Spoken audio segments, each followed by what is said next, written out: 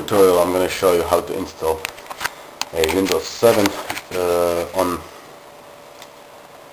HP TC 1100 or 1100 on with, with using a USB stick here. I'm not going to show you how to actually put the Windows 7 on the USB stick because there's many tutorials online to do that. It's really simple. All you do is uh, extract your downloaded DVD file. Actually you format it first okay and extract your DVD somewhere on your computer. And you'll find a bootsect.exe file in the boot menu. You launch it you put your command in and make this USB bootable. Then you just copy the files over. That's, that's even better than the boarding DVDs because DVDs has to be burned on one speed and some stupid stupid um, settings and stuff you know. Probably because of the protection. And I burned two DVDs and they they failed so I'm not gonna bother anymore. So what we do here is we switch switch it on first okay? And get ready to press drag power button. Okay now we press it and and we point to launch system setup. Now we're not BIOS now. So we go to advanced tab advanced tab um,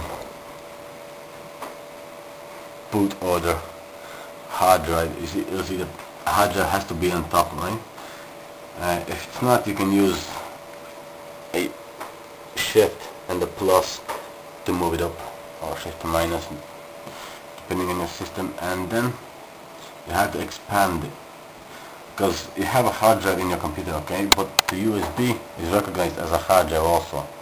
So you'll see a, a plus sign in front of it. So you just expand it. And you have to move your flash before the hard drive otherwise the hard drive boot first okay? And your older operating system will boot in or nothing at all if you don't have anything. So we, press shift plus and go up. Okay? I press F10. Yes, we want to save. And there we go. Okay, there's nothing attached, no no DVD ROMs, no CD ROMs, no docking stations, nothing, only USB stick there. Uh, what was that?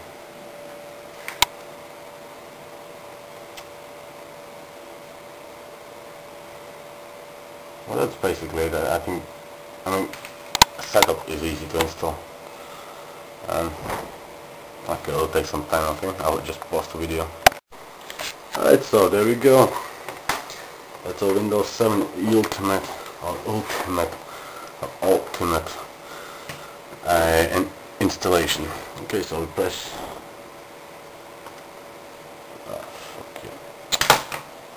Okay, the pen doesn't work here. I have to use a keyboard instead. And uh, you can use your USB mouse, okay?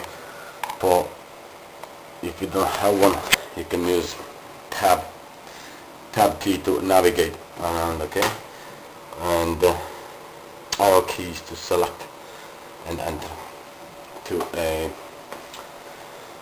actually no tab is to navigate through the options okay through the buttons through the menus and stuff okay? Arrow keys is to navigate through well, lots of stuff just test it out yourself. Enter is to uh, enter and the space is to select. That would be more correct. Okay so I'll show you the example here. You see you have to you have to select agreement okay? The space will not work here since it's selected by default right press the space button ta-da see selected now you can press enter with, the arrow keys press um, upgrade okay so you know uh, press custom advanced installation upgrade is crap it usually buggy. It usually doesn't work. Um, yeah since I have a Linux Ubuntu on it.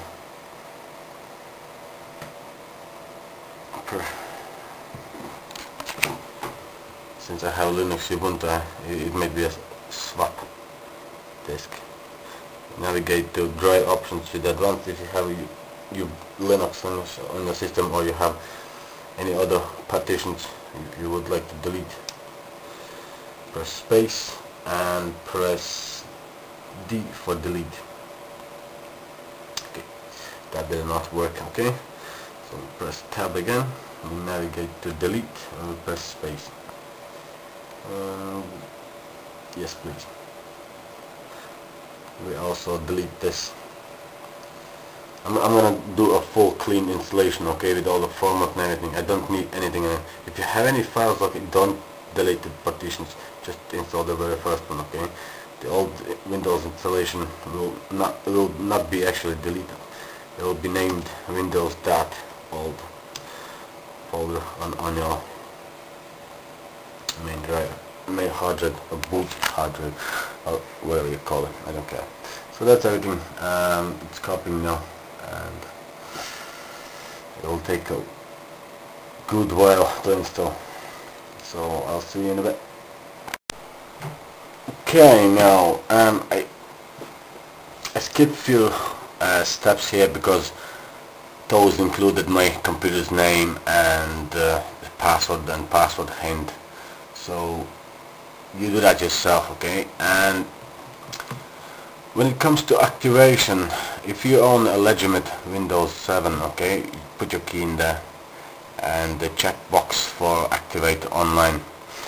But if you don't and you use it for 30 days or you're gonna crack it I don't care what you do with it then you do not put any any any product key in it and do, do not check the box there.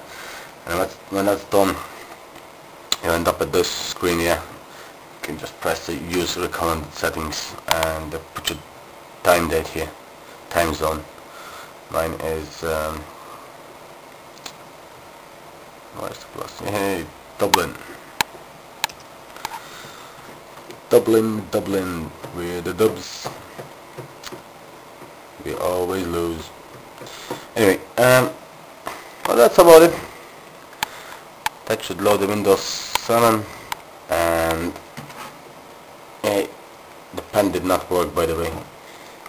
For now, um, I think I can get the drivers for.